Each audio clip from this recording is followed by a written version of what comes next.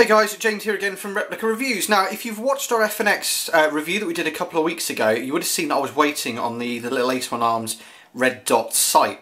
Um, it's basically modelled off uh, an, an, RMR, um, and I said, you know, it's been on order, but it hadn't turned up. And I was really hoping it'd turn up for the review, but I'd only ordered it probably five or so days before, so it's coming all the way from Hong Kong. It wasn't going to be there for the review. But anyway, the day after it went live, it all turned up. Um, and as you can see, obviously, we've got the, the RMR itself, the adapter plate. Obviously, if you're going to be running on the FNX, you do need the adapter plate. Um, and even throw in some stickers as well. Um, and one thing I will say, I ordered it um, on the weekend and it was here by the, the following Monday. Um, so the delivery from Hong Kong was crazy, crazy quick. I think it's about five days in all um, I was waiting. So customer service wise, Ace One have been absolutely spot on. So what we're going to do is we'll just get everything out and we'll have a look at the sight and the, the adapter plate and whatnot. And uh, then we'll fit it on the FNX and show you how to install it. Right guys, so this is basically as it comes out of the packet. They arrive, uh, or at least mine did, in a jiffy bag. So you can see the outer plastic has been battered around um, a little bit. But it just comes in this neat little box. Um, and if we open it up one way or the other, just rip it out like so. You can see it's all safe and uh, sort of held in place with this foam insert. So we'll get it out of the way very, very quickly. Again, more packaging. You see the sight itself. Now it's very, very low profile. It does uh, obviously require a battery just to fit in the bottom. Uh, I haven't unfortunately managed to pick one of those just uh, just yet. But as you can see, it comes fully traded up. Um, and yeah, it feels and it looks really nicely made. Obviously it's metal construction. Um, you see, you know, literally every trademark that would be on the, the actual kind of the um, Trijicon version is on this replica and the, the lens as well is this really nice uh, sort of reflective colour. Buttons on the side obviously for increase, turn on, off and, and all the rest of it exactly as it would and obviously you can adjust it here as well. Um, you know, it, it, says one click, one MOA. How much that translates into airsoft, um, I don't really know. Um, but yeah, it seems really nice and, and solid and built. Now obviously if you are going to be fitting this replica Trijicon sight onto your gun, you are going to need the adapter. Now the adapter comes with four screws. You've got two long screws, which are the ones that go down between these two holes here, and the two short ones uh, that actually attach the plate to the uh, to the FNX itself.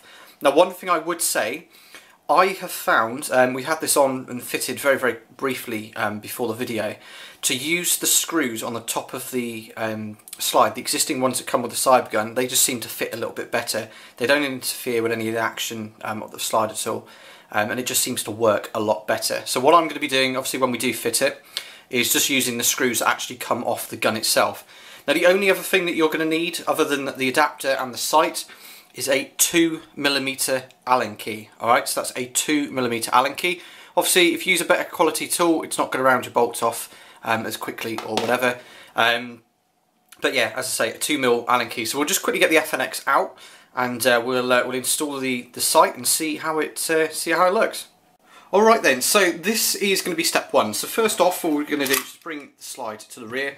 Obviously, I've completely emptied the gun out, and you can see these two holes just here. Now, what we're going to do is we're going to remove these two grub screws. As you may have seen, I've already given them a quick, gentle help, helping hand off screen, and that plate just comes off. So this plate now is going to be completely defunct, but we're obviously just going to use those screws in a second. As you can see, the indent is cut in here, and this is where your plate will go in. Now with these two grubs at the back, you're just going to place the plate in such a way, and it just sits in place. So what we're now going to do, hopefully, obviously being on camera is a little bit harder than usual, is we're just going to place the two screws just in the holes just to locate them and then we'll just tighten them up again with our 2mm Allen key and then that should be the plate in place. Now I'm only doing these up sort of not overly tight, obviously I don't want to strip any threads out, but obviously the recoil is going to move around. Um, as you can see now, that's in place, fully secure, like so. So we'll just bring the slide forward. Now this bit here, now the RMR itself is really, really, really simple to fit. Now obviously if you are going to be using it uh, straight away, you're going to put the battery in the bottom. Now we don't have a battery at the moment, so all we're going to do is just line up these two holes that you can see here with the locators. And it's a little bit of a, a push down just to make sure it sits. And as you can see there, fits onto the pistol perfectly. Now this is where the longer screws are going to come in. So again, we'll just put those down the holes just to locate them.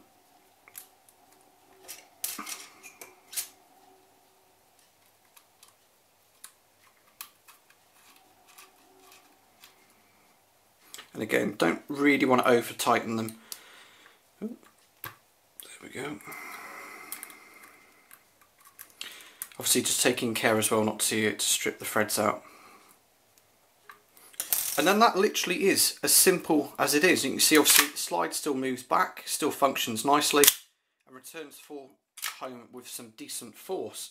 So what we will do is we'll just quickly cut. Obviously the magazine's empty, but I've put a bit of gas in there and we'll just shoot it a couple of times just to make sure it's functioning um, nicely, obviously, as it's been shot.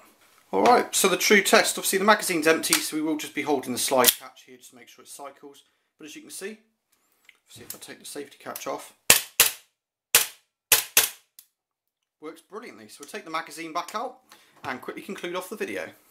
So that's the video pretty much all done. As you can see, the Ace One Arms uh, RMR there really does fit um, the look of the pistol beautifully.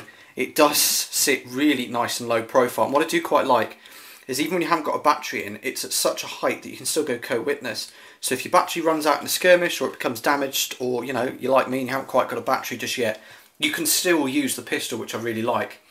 Now, as I said earlier on in the video, it's really nicely made as well. Um, I wasn't expecting the best sort of quality in the world. Obviously, when it comes to things that are replicas of other things, they tend not to be as good.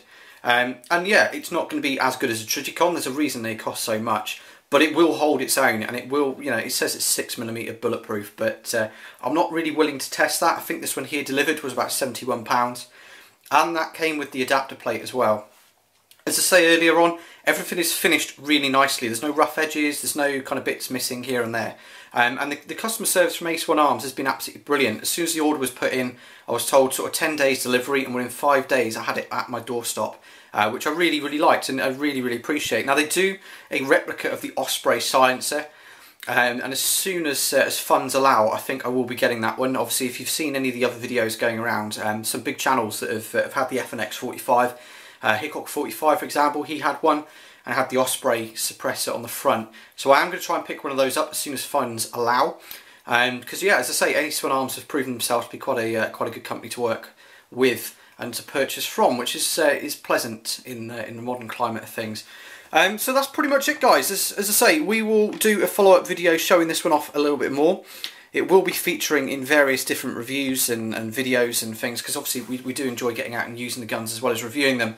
So if you want to check that out, feel free to click the subscribe box below for all of the, uh, the, the latest videos coming up. And also if you've got any comments, any questions, feel free to put them in the box below.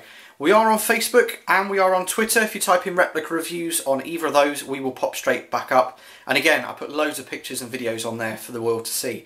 So until our next guy, video, guys, all that's really left for me to say is thanks for watching and we will see you again in another Replica Reviews video.